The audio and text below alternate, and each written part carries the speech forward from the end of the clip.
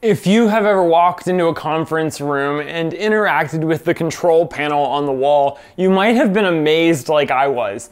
The realization that pushing the on button raises the curtains, lowers the projector screens and the projectors, while also turning on the projectors. I mean, if enough money is spent, an insane amount of automation can happen just by turning on the system. My church is in desperate need of a system like this to manage the sound and video in our multi purpose rooms. A little over one year ago, I joined the staff team at this church, and these rooms have been a huge pain because of the antiquated VGA based system that is currently installed. VGA, it had its day, but is now a thing of the past the VGA infrastructure we have is not compatible with HD screens, and it's just time to get rid of it. If it worked, I really wouldn't complain. Like, honest, like if it worked, I would just be happy and wouldn't even make this video. But every time we use it, we have to follow this printed sheet and rescan the inputs. Like, just imagine trying to get an older person to do that this brings me to the worst of all statement about our system that as it currently exists. It's not a system that young people can intuitively use.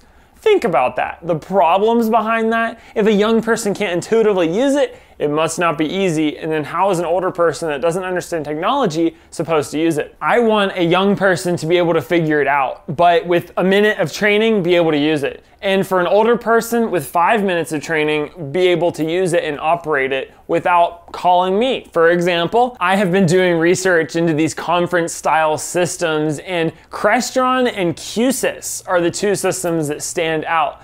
But after several months of getting quotes for a Q-SYS system, I, want, I like Q-SYS because it's user friendly and people can actually manage it, like me, versus having to be a programmer with Crestron, I think that's what it's called, to actually be able to make changes and things. Technically, we wouldn't own the software for the Crestron system, just the hardware unless we, so if we stop, pay, you know, it's a whole thing. Anyways, Q-SYS seems like a fantastic system. I've gotten some demos and I've gotten some quotes, but if we spend $34,000 on a Q-SYS system, we're not gonna be able to spend that money in other areas of the church, such as, I don't know, upgrading our live stream cameras.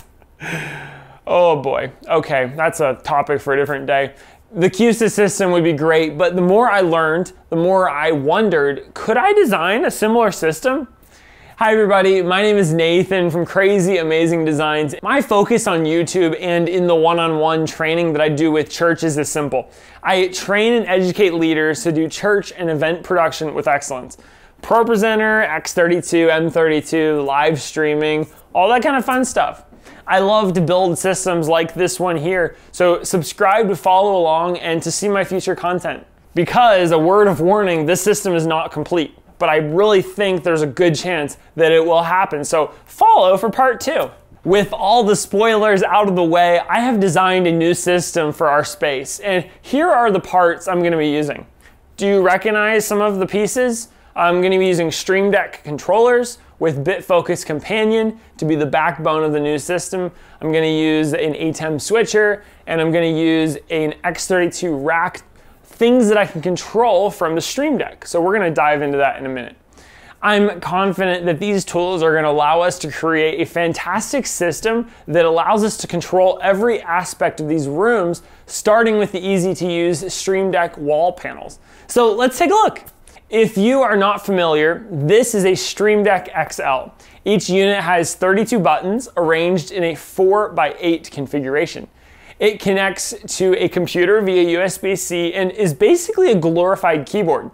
Glorified because each key, each button can be programmed to do virtually any imaginable task and each button has a display that is 72 by 72 pixels. So text, images, can be displayed on the buttons, making Stream Decks a fantastic tool.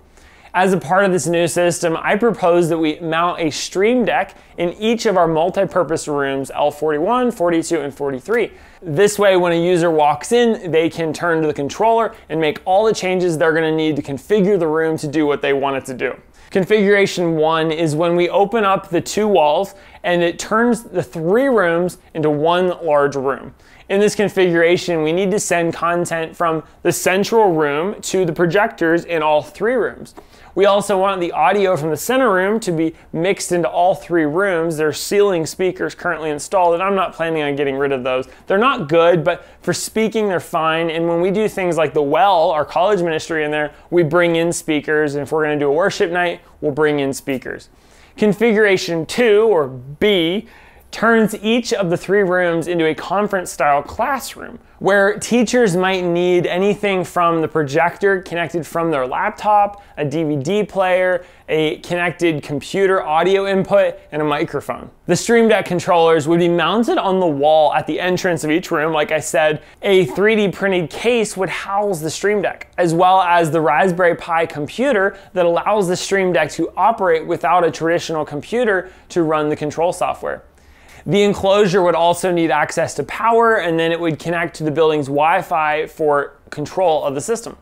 So this is the master home page of the system.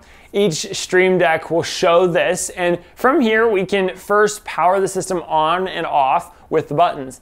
I plan to power the whole system on and off using a Furman this device is a relay that can be triggered on and off with an Arduino microcontroller via the Stream Deck. There are several ways to do this. The on and off buttons on the master home page could be used to turn the system on and off, but then if someone leaves one of the rooms and turns the system off while there's still people in one of the other rooms, well, we need to prevent that. So it could be that you need to turn off all three panels for the system to turn off. Then turning one panel off would not turn the whole system off. The whole system could also be set to turn off by default at a certain time every day if it gets left on, such as midnight. The next question for a user walking into this space is going to be, well, what rooms are you gonna be using? I've learned that the QSYS system has the option for a laser module that tells the system if the wall is open or not. I could probably build a laser connected to a microcontroller and point it at the walls. You know, the walls that we open and close, turning the three rooms into one big room. If the laser beam stops at a specific distance, then the system knows that it should be in individual mode. And if the beam goes further than the programmed distance, then it would tell the computer, hey, the wall's open. I think this is super cool. I don't think the system would say that last part, but it would probably think it with the laser checking to see if the wall is open or closed or not, we could actually skip the master home screen, which allows you to walk into a room and then see the controls for that room immediately. The controller in each room would be default to show you the room home screen instead of the master home screen. Unless the laser says the wall is open, which means each control panel will show the all home screen, meaning the walls are open and the rooms become one. This brings us, let's say we're walking into L41, the first room, because we're gonna be leading a Bible study. We're gonna go ahead and push any button on the system to wake it up. We either need to click L41, or if we do the laser, then the L41 home screen might show by default. The panel wakes up and the L41 home screen comes to life, showing us the system has been turned on. On the first column on the left, we have several settings. We can switch between the audio and video pages we can go back to the master home page to change the system mode. With another button, we can even reset this current page back to its defaults. This way, if there is an issue with a change that we made, we can just set the whole page back to its default settings. The middle two buttons on the settings column are gonna take us to the video page and back to the audio page for this room. I've removed the current page so that we can only go to the other page, the video or audio page. These settings are the same across the audio and video pages for all three rooms. On the audio page, which is where we are at now, we can control the audio inputs and audio sources that are available. We can turn the volumes up, the volumes down on any source, as well as mute the input of the source. Pushing the video button takes us to the video page where we can see and select what source goes to the projector for each room. I'm going to push back home and go over to L42 then click on the video page. This room is special. I said that all three rooms were the same, but the middle room is special because there is a TV mounted on the wall in the back that we use as a stage display screen from ProPresenter. That is why this page also has the TV, which we can use the Stream Deck to choose any source that we're sending to it. Which makes it perfect for a presentation because now whatever's on the front screen is now on the back screen, which is actually the default setup for this configuration in this room.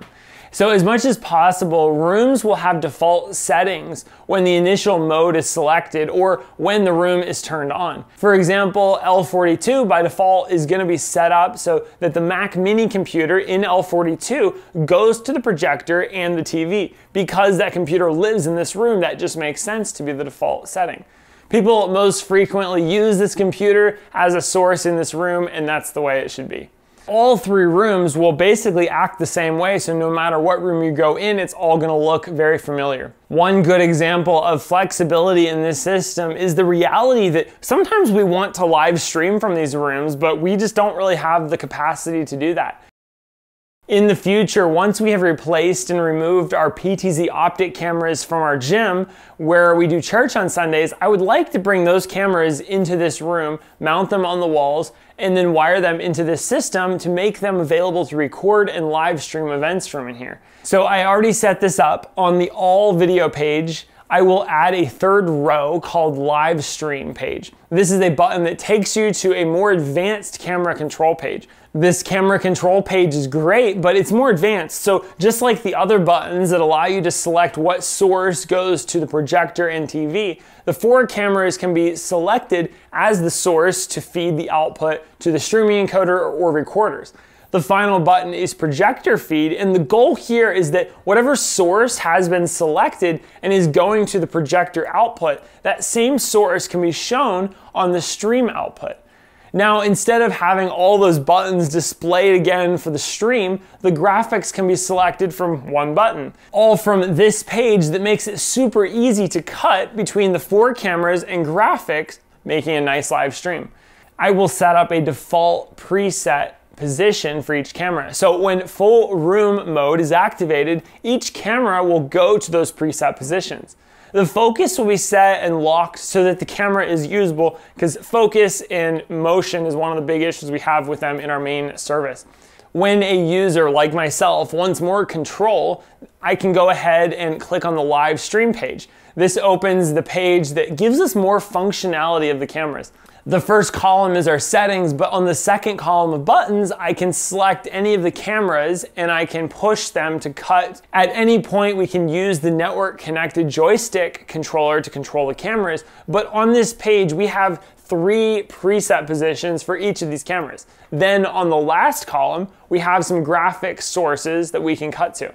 This integration will be fantastic in allowing us to live stream an event in these rooms, such as funerals, a class, or some of the other things that we do here, such as our Ash Wednesday service. Adding a HyperDeck Studio recorder to this system, we could set up an auto sync to auto sync the files to Google Drive, and then users could have access to the event once the recording is over the more I thought about this project, the more interested and the more excited I am. So if this project interests you, then leave a comment. I'm hoping to get approval and then present part two of this video to document the challenges of implementing this system. Maybe leave a comment if you wanna see a live stream of the building process.